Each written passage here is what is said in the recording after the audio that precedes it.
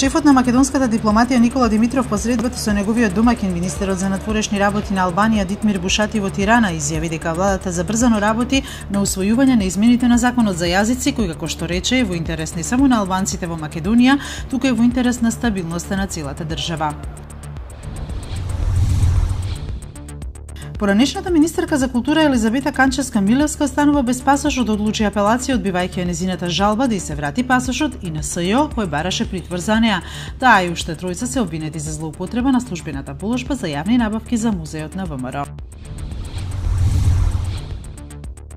За прв пат од постоењето на владата на премиерот Ципрас, Грција се врати на пазарите за задолжување. Грчките медиуми јавуваат дека земјата денеска издаде петгодишни обврзници, прв пат по тригодишното одсуство од пазарот на обврзници и е на пат да собере финансиски средства по пониска цена, што би представувало символична победа на кризата што започна пред 7 години.